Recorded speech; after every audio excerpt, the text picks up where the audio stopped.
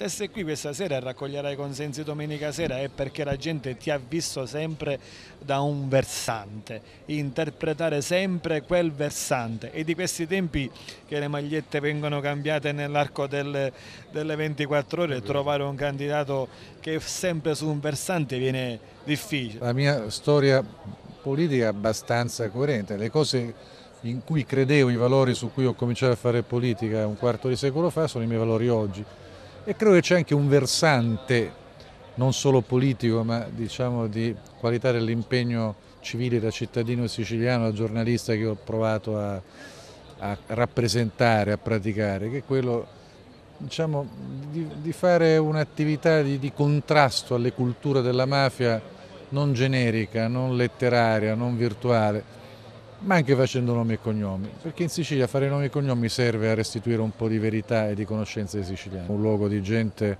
assai più libera di quanto hanno immaginato loro, nelle loro costruzioni di ceto politico romano. Massimo Fundarò, l'amico sicuro su questo versante, parlando poc'anzi di versante. Massimo è un compagno di tante battaglie, un dirigente politico di antica razza, di antica militanza e di antica competenza, per cui in questo senso è una sicurezza. Ci hai puntato? Ma non ho bisogno di puntarci, siamo insieme, lo siamo stati in tante battaglie, siamo insieme perché ci chiediamo insieme. Ciascuno di noi punta sull'altro, ciascuno di noi offre all'altro qualcosa in più da fare. Votate liberi, non date retta a chi vi chiede di protestare, di rassegnarvi o di astenervi, votate liberi, se sarete liberi penso che la Sicilia sarà migliore il 6 novembre.